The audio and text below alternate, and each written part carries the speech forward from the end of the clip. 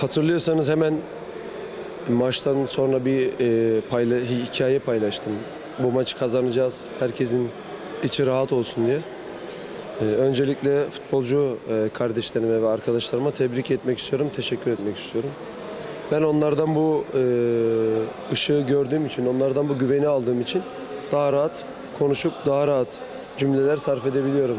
Kendimin de özgüveni çok şükür e, biraz yüksek olduğu için e, bu tarz konuşmalar e, oluyor. Evet, güzel bir hafta, 4-5 gün boyunca bu maça hazırlandık. İyi oynadık. Erken goller bulduk, güzel goller bulduk. Her zaman söylüyorum. En güzel gol, en güzel gol boş kaleye atılan goldür diye.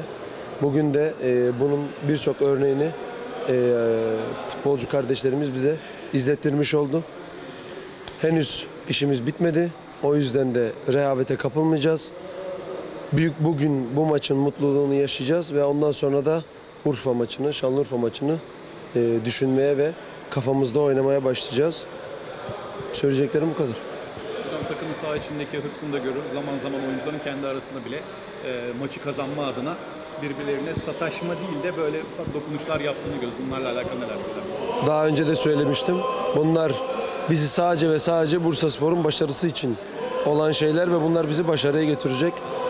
Saha içinde futbolcular kendi aralarında tartışabilir, birbirini e, pozitif motive edebilir.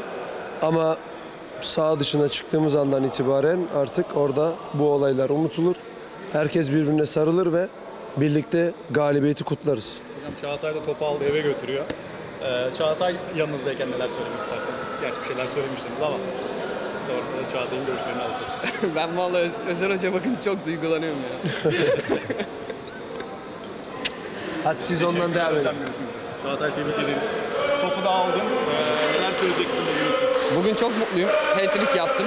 Ee, takım arkadaşlarımın ayağına yüreğine sağlık. Onların sayesinde yaptım. Ee, ikinci devre dönmemle beraber takıma çok büyük katkı sağladığımı düşünüyorum. Ve bundan sonra da sağlayacağımı düşünüyorum. Ee, biliyorsunuz ilk devrede yaşananlara. O soruyu soracağım ben sana. Yani şöyle sorayım ben sana Çağatay. Son dönemde takımın e, performansı en yüksek isimlerinden birisin. Attığın goller, asistlerle birlikte. E, bugün de zannediyorum 7 gol 2 asiste ulaştın. Yo 7 gol 6 asist. 7 gol 6 asist mi oldu? Peki, e, peki ligin ilk yarısında Bursa Spor'da forma giy- giyseydin A takımda neler farklı olabilirdi? Ya ben şunu şöyle yorumluyorum. Bu hikaye böyle yazılacakmış. Ben sonradan katılıp Bursaspor'a katkı verecekmişim. Arkadaşlarıma katkı verecekmişim. Evet ilk yarı yoktum. Çok üzüldüm. Ee, bu dönemde bana bir sürü şeyler yazıldı, çizildi biliyorsunuz. Çok üzgünüm ama yeşil sahada cevap verince insan daha çok mutlu oluyor. Ee, yani ben Bursa, Bursa'nın çocuğuyum ya. Yani ben buradayım. Her zaman buradayım. Her zaman da Bursa Spor'dan çocuklarına sahip çıksınlar. Şu an çıktıkları gibi. Ee, başta başkanımız olmak üzere Zahit abi, Selim Yol geçen, Enes Can Demir.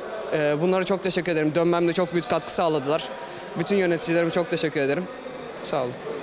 Ayağına sağlık. Çok teşekkür Çok teşekkür ederim.